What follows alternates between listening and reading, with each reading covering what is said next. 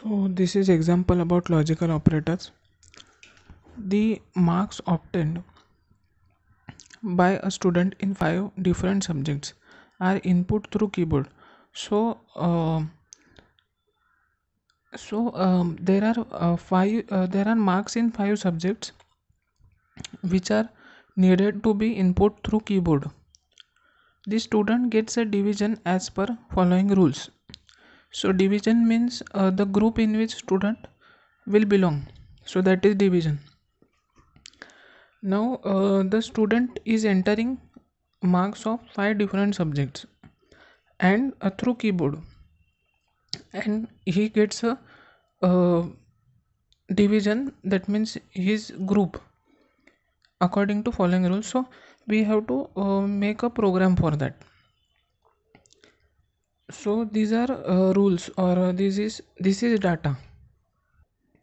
So first is percentage percent above 60 this is first division. This is that is first group. Now percent between 50 and 59 it is second division. So uh, so first division was for above 60 now in between 50 to 59 second division. Then a percentage between 40 and 49 is third division. 40 and 49 is third division. Now uh, percent less than 40 is fail. So uh, these are divisions.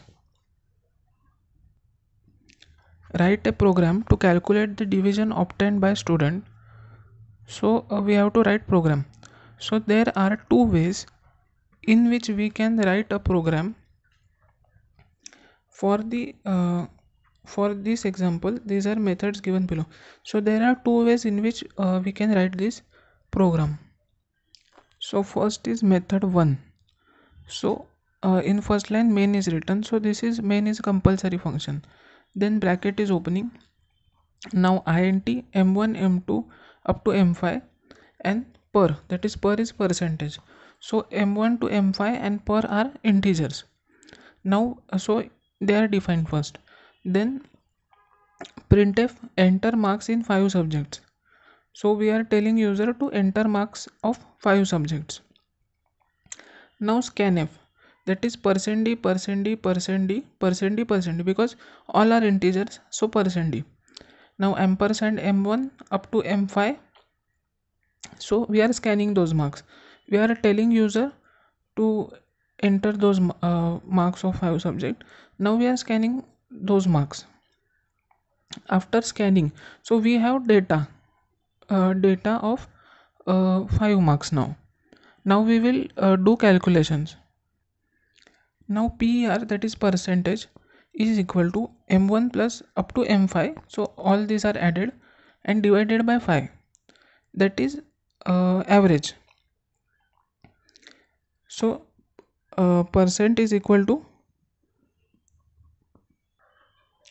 so because all marks were out of 100 so uh, the per is equal to percentage is equal to addition of all marks divided by number of subjects. That is 5 now we have value of per which is saved in integer per. Now we are comparing with if. If per is greater than uh, or equal to 60 so we have first uh, that data. If per is equal to uh, is greater than or equal to 60 printf first division. So here we are using if else statements so if percent is is greater than or equal to 60 then first division. Else uh, if else if. So if else if. That statements are given. Uh, else if percentage is greater than 50 then print second division.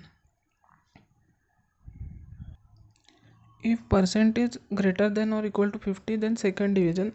Else uh, if percentage is greater than or equal to 40 then third division or else print uh, printf fail. So and then three are closing uh, brackets. So uh, this program is about using if else statement for uh, this uh, calculation. This is a straightforward program. Observe that the program uses nested if else's this leads to three disadvantages. So this program was using nested if else's statements and it was complicated. So uh, so this is it is complicated and it has a disadvantages also